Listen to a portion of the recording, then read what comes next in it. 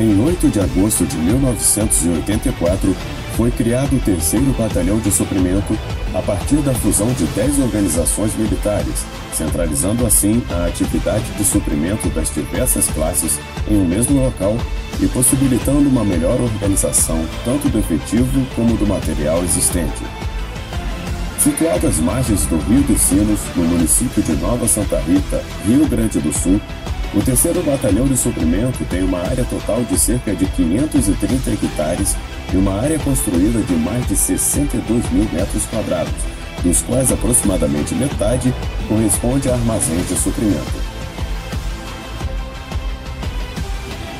O terceiro batalhão de suprimento tem a missão institucional de receber, controlar, armazenar, distribuir e transportar suprimentos das diversas classes para as 114 organizações militares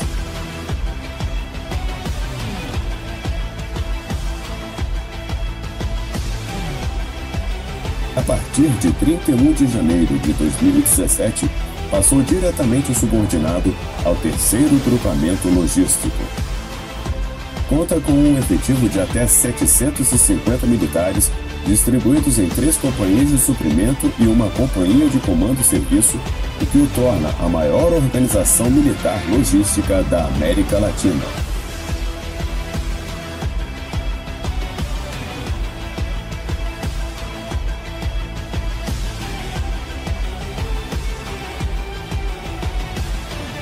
O terceiro batalhão de suprimento tem a missão de formar o soldado reservista de primeira categoria.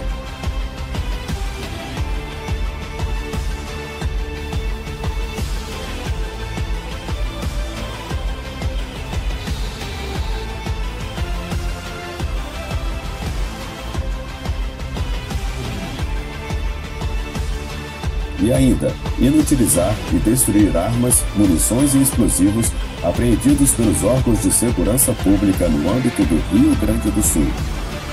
Além de sua missão principal, o terceiro Batalhão de Suprimento presta diversos tipos de apoio, como na Operação Acolhida de Apoio à Interiorização de Imigrantes Venezuelanos, ao Programa Forças do Esporte,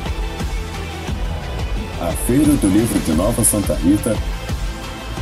dentre outras inúmeras atividades.